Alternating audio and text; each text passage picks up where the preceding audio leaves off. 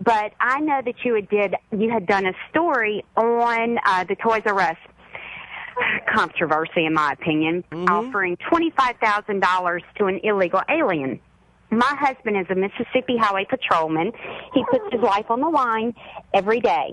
My husband and I worked for over four years trying to get pregnant with a baby.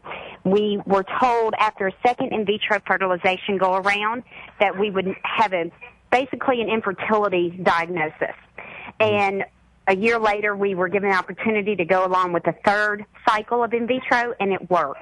Good and you. we work hard every day for our money and we pay taxes and the debt that this in vitro has given given us a wonderful child that we would not give back for any amount of money but we have accumulated debt that that Toys R Us gift to an illegal immigrant would um or excuse me illegal alien would not even pay off my child's in vitro.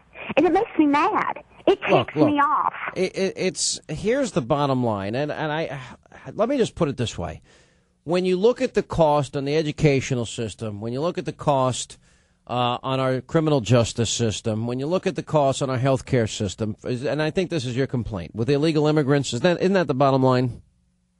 Is it- Yes, oh, Yeah. definitely. All right, so the bottom, it, it is enormous, and it's costing the American taxpayers a lot of money.